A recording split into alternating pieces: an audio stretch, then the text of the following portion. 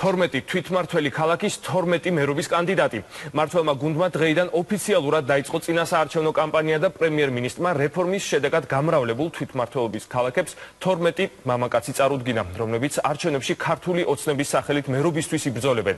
კანდიდატებს შორის ვერც ერთი ქალი ვერ მოხვდა. სამაგიეროდ, კურიერს ყავდა სპორტის სასახლეში დღეს მდედრობითი სქესის წარმომადგენელი.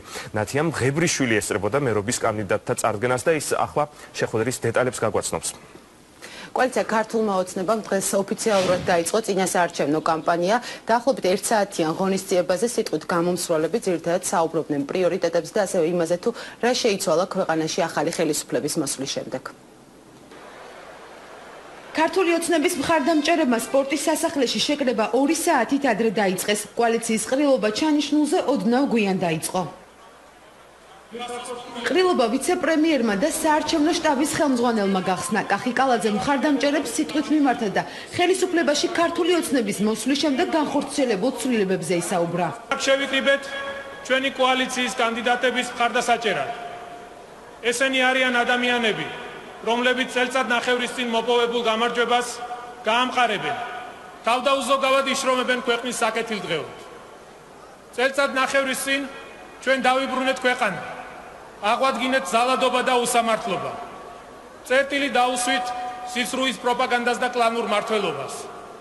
დავიბრუნეთ წართმეული უფლებები. კახი კალაძის შემდეგ ტრიბუნა პრემიერ-მინისტრმა დაიკავა. ირაკლი ღარიბაშვილმა სიტყვით გამოსვლა ბიძინა ივანიშვილზე საუბრით დაიწყო, რასაც დარბაზში ტაში მოყვა. სტუმრები ფეხზე ადგომით მიესალმენ ყოფილ პრემიერს.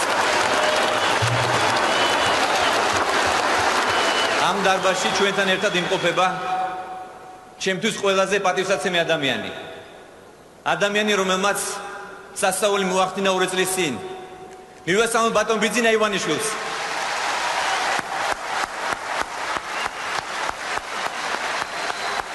ჩვენ აღვეთეთ ადამიანების წამება და არადამიანურ მოპყრობა ციხეებში.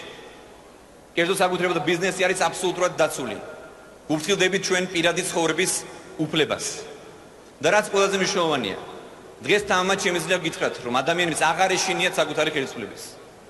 ჩვენ, ჩვენმა ხელისუფლებამ ადამიანებს დაუბრუნოთ ღირსება და თავისუფლება.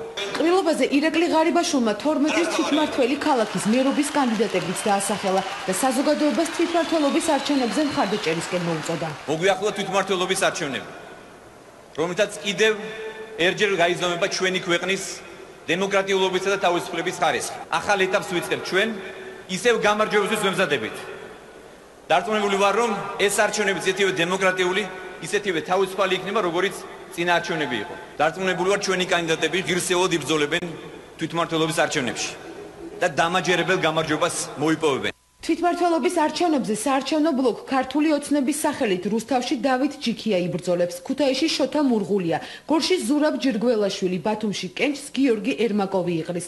ფოჩი ირაკლი კაკულია ზუგდიდში ირაკლი გოგოხია. მცხეთაში მერობის კანდიდატი ავთანდილ ნემსიწვერიძე იქნება. თელავში პლატონ კალმახელიძე ოზურგეთში ბეგლარ სიორიძე ახალციხე გიორგი კოპაძე ამბროლაუში კი ქართული ოცნების სახელით კენჭს იყრის რატინ ამგალაძე მერობის კანდიდატებმა სამომავლო გეგმაზე ისაუბრეს მდგომარეობა არის ძალიან ცუდი. შესაბამისად, ჩვენ ერთად შევძლებთ ჩვენ ქუთაისლებთან ერთად მოვაგვაროთ ეს პრობლემები და დაიწყება ეპოქა, როდესაც ხელისუფლება იქნება ხალხის სამსახურში და არა პირიქით. პრიორიტეტი იქნება ქალაქის გამწვანება, ქალაქში ტექნიკური წყლის შეყვანა, რაც ესეთი პრობლემატურია.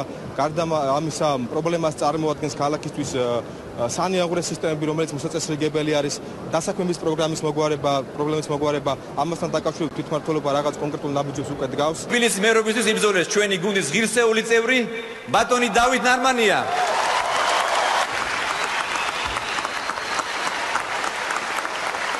შეხვედრის ბოლოს საარჩევნო კამპანიის დეტალებზე და პრიორიტეტებზე სპორტის სასახლეში შეკრებილებს თბილისის მერობის კანდიდატმა ესაუბრა. დღევანდელი ყრილობაც სპორტის სასახლეში დავით ნარმანიას სიტყვით გამოსვლამ დაასრულა. ჩვენ კონკრეტული გეგმებით და პროექტებით მოვდივართ. ისინი ორიენტირებულია ქალაქში მშენებლობის მოწესრიგებაზე, გამწვანებისა და რეკრეაციული ზონების შექმნაზე, სატრანსპორტო და სხვა სახის ინფრასტრუქტურის მოწესრიგებაზე. სპეციალისტებისა და საზოგადოების აქტიური ჩართულობით ჩვენ შევქმნით ქალაქის განვითარების პრინციპულად ახალ გენერალურ გეგმას. განსაკუთრებულ ყურადღებას მივაქცევთ სოციალურად დაუცველ მოქალაქეებს. ჩვენი დასაქმების პოლიტიკა უზრუნველყოფს კერძო სექტორის შესაძლებლობების გაზრდას და გაფართოებას. ერთსაათიან ღონისძიებას მხარდამჭერებთან ერთად კოალიცია ქართული ოცნების წევრების სრული შემადგენლობით ესწრებოდნენ. სპორტის სასახლეში იმყოფებოდნენ მინისტრთა კაბინეტის წევრებიც. 100%-იანი შანსი აქვს ყველა მერს რომ გაიმარჯოს ორი მარტივი მიზეზის გამო.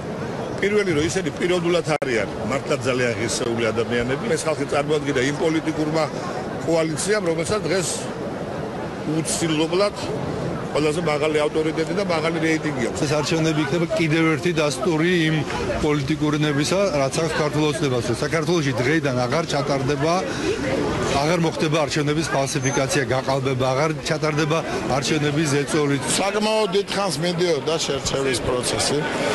პრინციპი მთავარი არის, რომ პარტიაზე არ იყოს მაინც და მაინც მიბმული მისი კარიერა. უახლოეს დღეებში უკვე დასახელდება ბუნებრივია პროპორციული სია, ანუ ქალაქი მათ თბილისის და მათ შორის სხვა ქალაქების უკვე სიები მათ შორის სიის პირველი ათეულიც ღირსეული ადამიანები იქნებიან წარმოდგენილები. კოლცე ქართული ოცნების საარჩევნო კამპანიის გასაცნობად სპორტის სასახლეში საზოგადოებისთვის ცნობილი სახეებიც მივიდნენ. მერი უნდა იყოს ენერგიული ახალგაზრდა ძალიან სუფთა, წარსული და რაღაც ესეთი უნდა იყოს. მეგობრ, გარმანი ეს ის ადამიანია.